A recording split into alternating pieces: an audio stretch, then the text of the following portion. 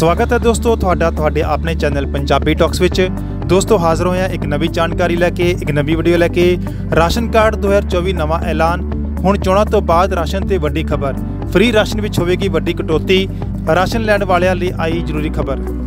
ਦੋਸਤੋ ਚੋਣਾਂ ਦੌਰਾਨ ਪੰਜਾਬ ਵਿੱਚ ਘਰ ਘਰ ਮਿਲਣ ਵਾਲੇ ਰਾਸ਼ਨ ਨੂੰ ਲੈ ਕੇ ਵੱਡੀ ਅਫਵਾਹ ਫੈਲਾਈ ਜਾ ਰਹੀ ਸੀ ਕਿ ਪੰਜਾਬ ਵਿੱਚ ਘਰ ਘਰ ਮਿਲਣ ਵਾਲੇ ਰਾਸ਼ਨ ਵਿੱਚ ਵੱਡੀ ਕਟੌਤੀ ਕੀਤੀ ਜਾਵੇਗੀ। ਅਤੇ ਦੋਸਤੋ ਇਸ ਉੱਤੇ ਮੁੱਖ ਮੰਤਰੀ ਭਗਵੰਤ ਸਿੰਘ ਮਾਨ ਨੇ ਕੀ ਕਿਹਾ ਹੈ? ਜਾਣਾਂਗੇ ਪੂਰੀ ਜਾਣਕਾਰੀ ਇਸ ਵੀਡੀਓ ਵਿੱਚ।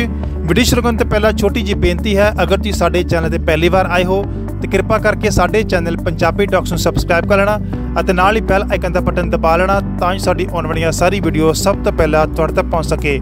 ਤਾਂ ਦੋਸਤੋ, ਆਓ ਨਜ਼ਰ ਮਾਰਦੇ ਪੂਰੀ ਖਬਰ ਤੇ। ਪੰਜਾਬ ਦੇ ਮੁੱਖ ਮੰਤਰੀ ਭਗਵੰਤ ਸਿੰਘ ਮਾਨ ਨੇ ਅੱਜ ਕਿਹਾ ਕਿ ਸੂਬਾ ਸਰਕਾਰ ਘਰ ਘਰ ਰਾਸ਼ਨ ਸਕੀਮ ਤਹਿਤ ਲਾਭਪਾਤਰੀਆਂ ਨੂੰ ਰਾਸ਼ਨ ਦੀ ਨਿਰਵਿਘਨ ਸਪਲਾਈ ਨੂੰ ਯਕੀਨੀ ਬਣਾਉਣ ਲਈ ਪੂਰਨ ਤੌਰ ਤੇ ਵਚਨਬੱਧ ਹੈ।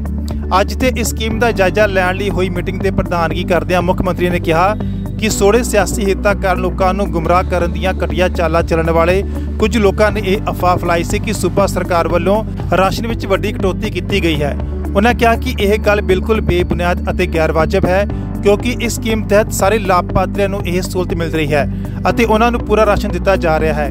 ਭਗਵੰਤ ਸਿੰਘ ਮਾਨ ਨੇ ਕਿਹਾ ਕਿ ਉਹਨਾਂ ਨੇ ਸੂਬੇ ਭਰ ਦੇ ਸਾਰੇ ਡਿਪਟੀ ਕਮਿਸ਼ਨਰਾਂ ਤੋਂ ਇਸ ਸੰਬੰਧੀ ਰਿਪੋਰਟ ਪਹਿਲਾਂ ਹੀ ਮੰਗੀ ਹੋਈ ਹੈ ਤਾਂ ਜੋ ਲਾਭਪਾਤਰੀਆਂ ਨੂੰ ਇਸ ਸਕੀਮ ਦਾ ਬਕਾਇਦਾ ਲਾਭ ਮਿਲ ਸਕੇ।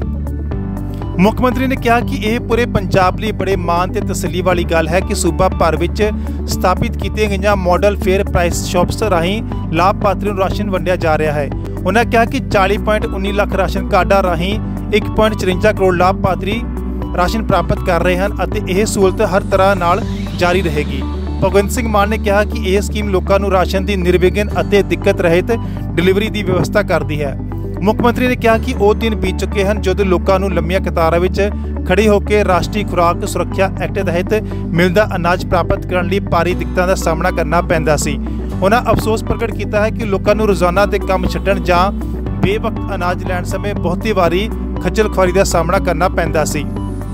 ਭਗਵੰਤ ਸਿੰਘ ਮਾਨ ਨੇ ਕਿਹਾ ਕਿ ਹੁਣ ਲਾਭਪਾਤਰੀਆਂ ਦੇ ਘਰਾਂ ਦੇ ਨੇੜੇ ਰਾਸ਼ਨ ਦੀ ਵੰਡ ਕਰਕੇ ਇੱਕ ਨਵੇਂ ਯੁੱਗ ਦੀ ਸ਼ੁਰੂਆਤ ਕੀਤੀ ਗਈ ਹੈ, ਜਿਸ ਨਾਲ ਲਾਭਪਾਤਰੀਆਂ ਨੂੰ ਰਾਸ਼ਨ ਲੈਣ ਲਈ ਖਾਸ ਕਰਕੇ ਖਰਾਬ ਮੌਸਮ ਵਿੱਚ ਕਤਾਰਾਂ ਵਿੱਚ ਖੜਨ ਦੀ ਲੋੜ ਨਹੀਂ ਪਵੇਗੀ। ਉਹਨਾਂ ਅੱਗੇ ਕਿਹਾ ਕਿ ਇਸ ਤਰ੍ਹਾਂ ਜਿੱਥੇ ਲੋਕਾਂ ਨੂੰ ਪੌਸ਼ਟਿਕ ਅਨਾਜ ਮੁਹੱਈਆ ਕਰਵਾਉਣਾ ਯਕੀਨੀ ਬਣਾਇਆ ਜਾਵੇਗਾ, ਉੱਥੇ ਹੀ ਉਹਨਾਂ ਦੇ ਸਮੇਂ, ਪੈਸੇ ਅਤੇ ਊਰਜਾ ਦੀ ਬਚਤ ਵੀ ਹੋਵੇਗੀ।